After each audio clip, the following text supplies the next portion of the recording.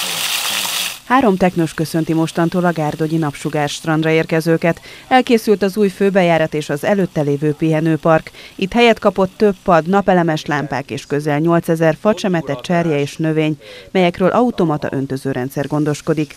Gárdony polgármestere szerint nagy igénye volt ez a településen élőknek.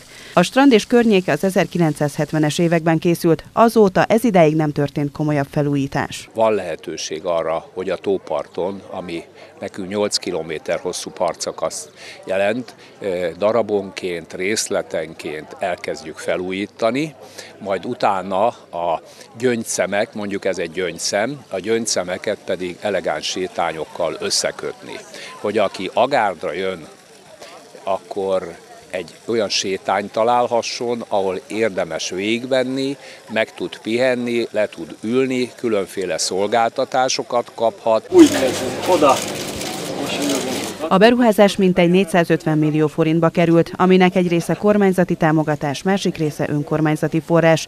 A fejlesztés magába foglalt két új épületet is, itt babamama szoba és vizes helyiségek kaptak helyet, melyek nagy részt megújuló energiával üzemelhetnek. Az, hogy egy ilyen 21. századi kép fogadja majd a strandra érkezőket, szerintem jól jelképezi azt a változást is, amit Gárdony bejárt az elmúlt két évtizedben.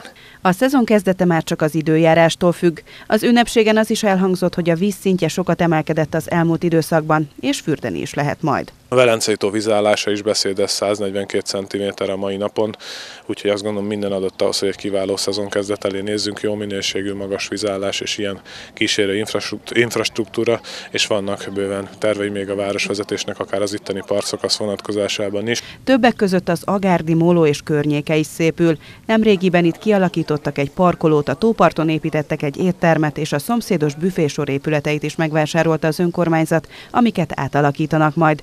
Ez mintegy 300 millió forintba került.